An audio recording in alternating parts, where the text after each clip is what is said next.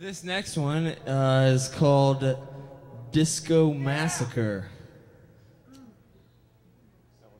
It's about a um, it's about a massacre at a disco.